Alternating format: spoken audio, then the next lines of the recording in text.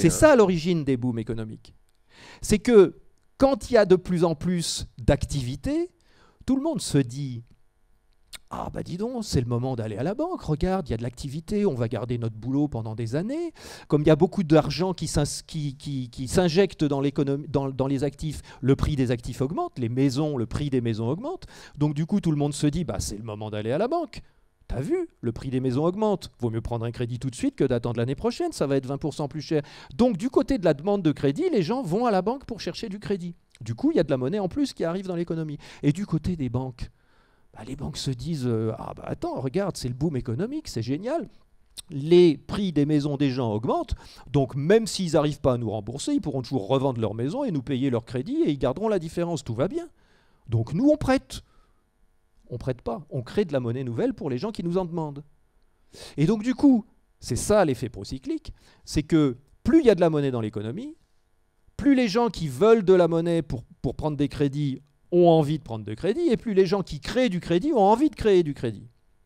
Et donc forcément, il y a plus de monnaie dans l'économie, donc le prix des actifs augmente, donc la confiance augmente, donc les gens qui créent du crédit ont de plus en plus envie de créer du crédit, et les gens qui prennent des crédits ont de plus en plus envie de prendre des crédits, jusqu'à ce que tout le monde ait pris des crédits. Et une fois que tout le monde a pris des crédits, qu'est-ce qui reste? Ben, Il ne reste plus que les gens qu'on a vus malheureusement dans le film, et à ce niveau-là, le film est extrêmement bien fait les pauvres gens, là, le policier avec sa femme, là, qui a acheté une maison 140 000 dollars et qui maintenant elle vaut 40 000. Toutes les maisons du quartier sont à vendre.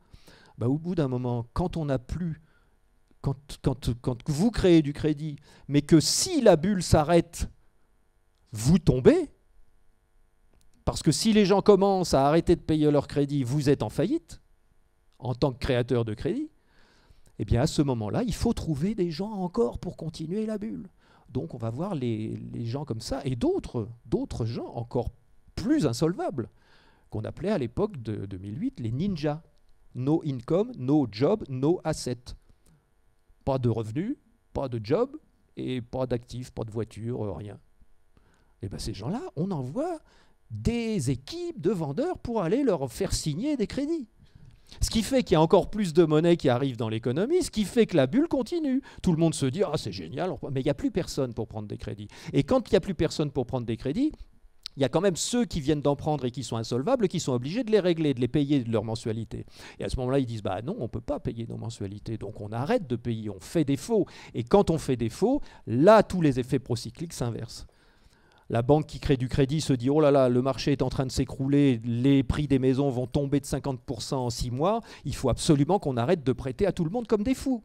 Et du côté des agents non bancaires, tout le monde se dit bah écoute, euh, on va pas se mettre à reprendre un crédit maintenant, t'as vu, c'est la crise, les prix se cassent la figure, on rachètera une maison à la moitié de sa valeur dans 2-3 ans.